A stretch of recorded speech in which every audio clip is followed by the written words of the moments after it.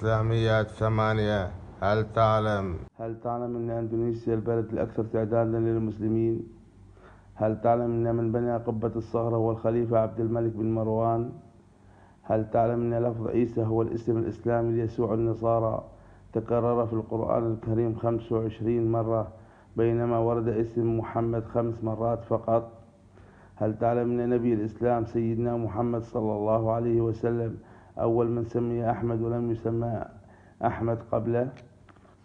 هل تعلم أن أول معركة بحرية خاضها المسلمون هي معركة ذات الصواري عام 35 هجري زمن خلافة الصحابي عثمان بن عفان رضي الله عنه وكانت بقيادة الصحابي عبد الله بن أبي سرج رضي الله عنه.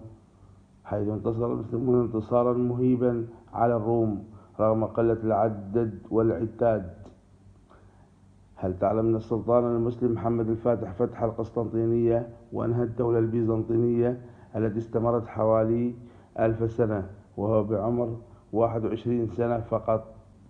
هل تعلم أن المسلمين يقولون عند ذكر الخليفة الراشدي علي بن أبي طالب عبارة كرم الله وجهه لأنه لم يسجد لصنم أو تمثال قط قبل إسلامه؟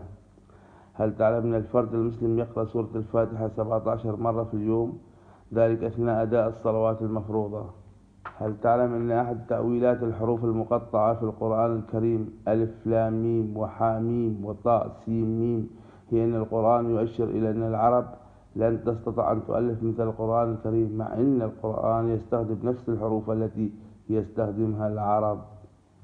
هل تعلم أن المسلمون كانوا خلال العهد الأموي والعهد العباسي يستعملون الساعة المائية أو الساعة الزجاجية من أجل تحديد مواقيت الصلاة. لا تنسوا الاشتراك في قناة بدو 22 مع السلامة.